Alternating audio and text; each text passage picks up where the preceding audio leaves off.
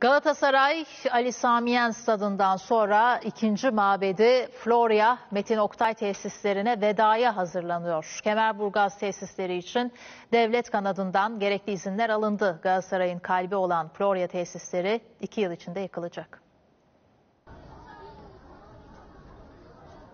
112 yıllık Galatasaray Kulübü tarihinin önemli parçalarından birine daha vedaya hazırlanıyor. Fatih Terim, Yup Derval, Cevat Prekazi, George Hacı ve Didier Drogba gibi birçok futbol efsanesinin yolunun düştüğü Florya Metin Oktay tesisleri 2 yıl içinde mazi olacak. 35 yıldır Galatasaray'ın büyük zaferlere hazırlandığı 80 hektarlık tesis yıkılacak, arazisi emlak konutun yeni projelerinde kullanılacak. Galatasaray'da bir devir kapanıyor. 35 yıldır sarı kırmızılı takımın maçlarına hazırlandı. Florya Metin Oktay tesisleri 2 yıl içinde kapanacak. Stadını Mecidiyeköy'den Aslantepe'ye taşıyan Galatasaray, tesislerini de yine Türk Telekom stadına yakın bir yere taşıyacak. Kemerburgaz'da yapılacak yeni tesis, Türk Telekom stadına yaklaşık 10 dakika uzaklıkta.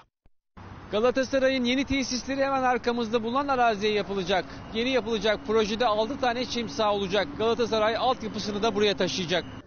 Galatasaray Başkanı Dursun Özbek, Savunma Bakanlığı ve Maliye Bakanlığı'ndan gerekli izinleri aldı.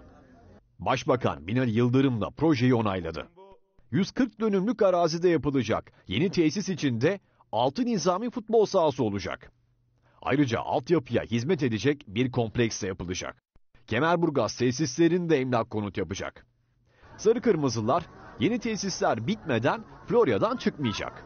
Kemerburgaz tesislerinin 2 yıl içinde tamamlanması planlanıyor.